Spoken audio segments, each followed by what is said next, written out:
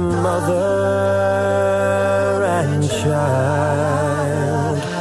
Holy infant, so tender.